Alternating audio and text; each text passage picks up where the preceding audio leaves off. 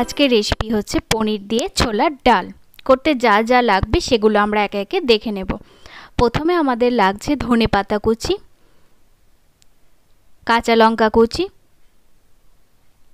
Tomato কুচি আর কিছু মশলা লাগবে দেখে নেব। নুন, চিনি, গোটা জিরে, গরম মশলা, হলুদ, লঙ্কা এবং মিট মশলা গুঁড়ো।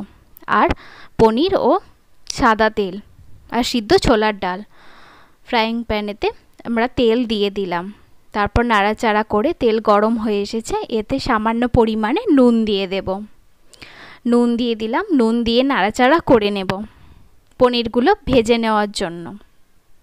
তারপরে পনিরগুলো দিয়ে দিলাম। পনিরগুলো দেওয়ার পরে আমরা কিছুক্ষণ নাড়াচাড়া করে এতে হলুদ গুঁড়ো দিয়ে দেব। হলুদ গুঁড়ো দেওয়ার পরে কিছুক্ষণ নাড়াচাড়া করে লাল লাল করে ভেজে নেব। ভেজে নেওয়া হয়ে গেছে। এরপরে আমরা তুলে নিয়ে তাতে গোটা জিরে ফোড়ন দিয়ে দেব। তারপর কিছুক্ষণ নাড়াচাড়া করার পরে এতে আমরা টমেটো কুচি অ্যাড করে দেব। আবার কিছুক্ষণ আমরা নাড়াচাড়া করতে থাকব। কাঁচা লঙ্কা কুচিও দিয়ে দিয়েছি। কিছুক্ষণ নাড়াচাড়া করে নিয়েছি সফট হয়ে এসেছে। এরপর আমরা সিদ্ধ করে রাখা ছোলার ডালটা দিয়ে দেবো। তারপর আমরা আস্তে আস্তে নাড়াচাড়া করতে থাকব। কিছুক্ষণ নাড়াচাড়া করে নিয়েছি।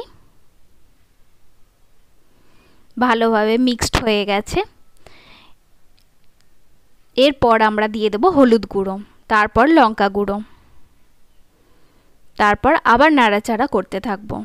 ভালোভাবে মিশিয়ে নিয়ে নিলাম। এরপর কিছুক্ষণ ফুটতে দেবো। ফুটে এসেছে চিনি দিয়ে দিলাম। এবং এতে মিট মশলাও দিয়ে দিলাম। দিয়ে আবার নাড়াচাড়া করতে থাকব। ভেজে রাখা পনিরও দিয়ে দিয়েছি। পনির দিয়ে ছোলার ডালটা ভালোভাবে মিশিয়ে নেব। মিশিয়ে নেওয়া হয়ে গেছে। এরপর আমরা এতে গরম মশলা ও ধনে পাতা কুচি অ্যাড করে দেব।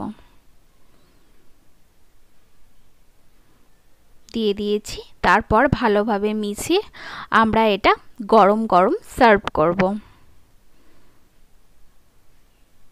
এটা অসাধারণ একটি রেসিপি আপনারা বাড়িতে ট্রাই করে দেখতে পারেন এবং রুটি, লুচি, পরোটার সাথে খেতে পারেন, দুর্দান্ত হবে। আমার রান্না যদি ভালো লেগে থাকে, আমার চ্যানেলটি শেয়ার সাবস্ক্রাইব অ্যান্ড লাইক করবেন। ধন্যবাদ।